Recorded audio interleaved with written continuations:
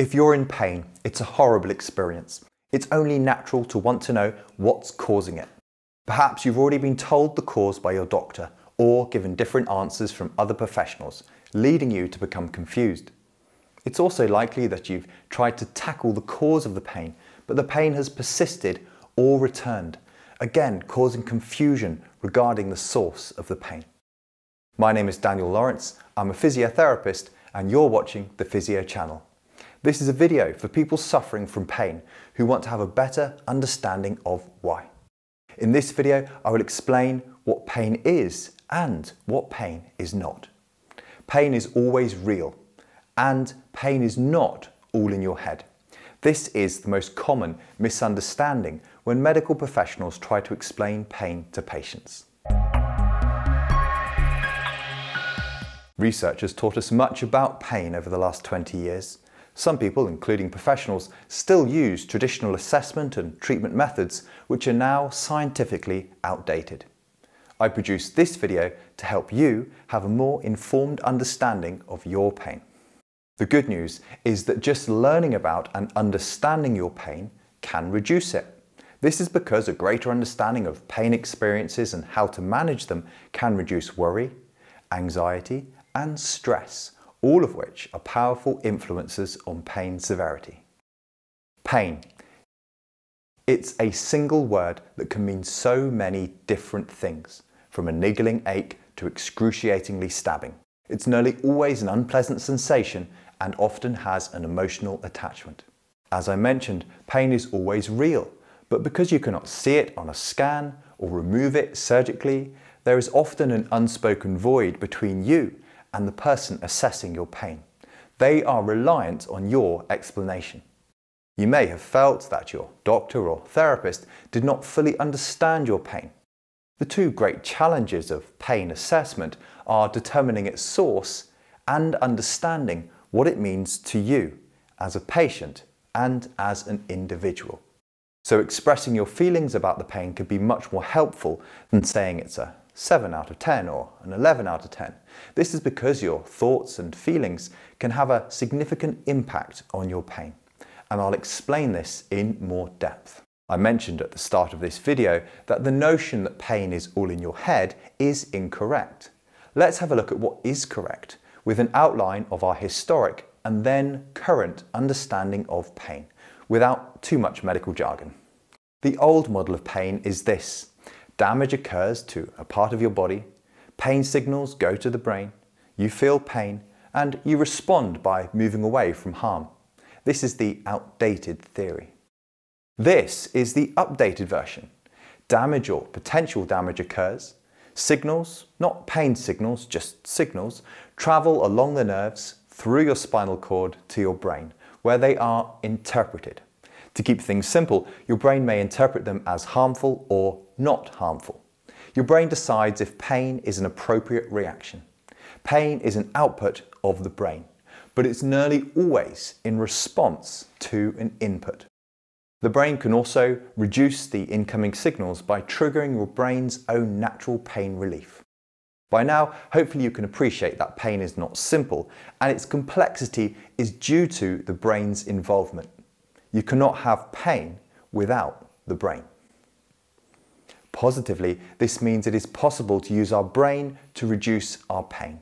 But because our brain is not under full conscious control, we cannot simply wish pain away. And there may still be a physical trigger for the pain. But we need to realize and recognize how the brain can alter our experience of pain. Let's step back from the detail for a second while I share a famous pain story with you. This is a well-known pain story of a young builder who jumped onto a 7-inch nail, which penetrated right through the front of his boot. As you can imagine, this was excruciatingly painful for him, and he required strong sedation for the nail to be removed. After removal, and upon inspecting his foot, he realised the nail had gone in between his toes and his foot was absolutely fine.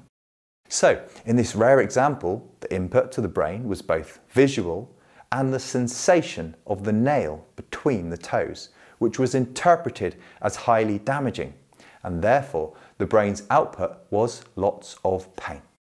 In my physiotherapy clinic, I commonly witness significant pain reduction if a patient is given credible evidence that there is no damage or no serious issues, much like the young builder after seeing his undamaged foot. So, when a signal arrives at the brain indicating damage or potential harm, what factors can amplify or reduce pain output? The answer is potentially everything, including knowledge, sleep quality, your job, social interactions, culture, and physical activity levels. Scientists often group these into the following three categories biological, psychological, and social. The common collective medical term for these are biopsychosocial factors. Here are some examples. Biologically, aside from any obvious physical damage, the nerve sensors can malfunction and send incorrect signals to the brain. This would be like a warning light flashing on your car's dashboard, but the mechanic cannot find any fault with your engine, instead finding a fault with a sensor. Sometimes a physical problem can trigger a sensor, but the sensor then gets more sensitive and stuck on, even after the physical problem heals. Psychologically, depression and anxiety are two of the biggest modulators of the pain experience. Of course, these can also be caused by pain itself but recognizing them as contributors and seeking professional help is a route to gaining control. It's also widely accepted that stress can affect the body and mind in many ways that increase pain perception. And interestingly, being in love has shown to reduce pain. The study of pain really is very broad. There are also social factors to consider. Social interactions, what we learn from others, the pain stories they tell us, our culture and the professional advice we receive can also make us feel differently about our pain. So at this point, I just want to summarize what we've discussed.